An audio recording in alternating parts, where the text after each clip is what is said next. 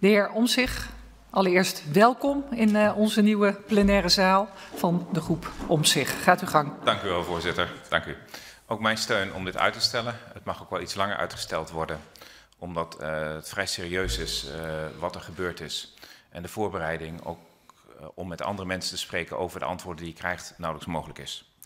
Ik heb een aanvullend verzoek en dat is om het draaiboek in het worst case scenario, inclusief de aanpassingen die er geweest zijn, hier naartoe te sturen.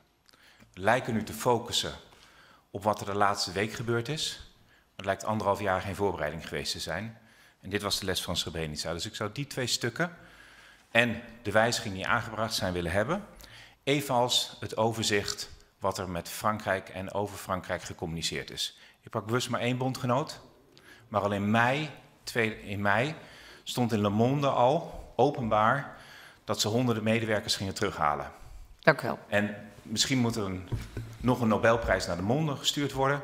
Maar ik zou graag het overzicht willen hebben wat um, er vanuit de Nederlandse ambassade in Kabul of vanuit het ministerie van Buitenlandse Zaken met en over Frankrijk gecommuniceerd is en wat de minister daarvan wist. Dank, Dank u wel, meneer Omzig.